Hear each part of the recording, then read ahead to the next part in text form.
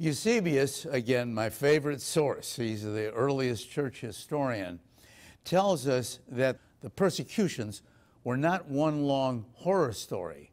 They were on again, off again, on again, off again, on again, off again. They were sporadic. And when they were off, it was really a very pleasant time for the church. For instance, the second century AD, we're talking about 100 to 199, shall we say uh, the church could grow more or less unhindered by the Roman state.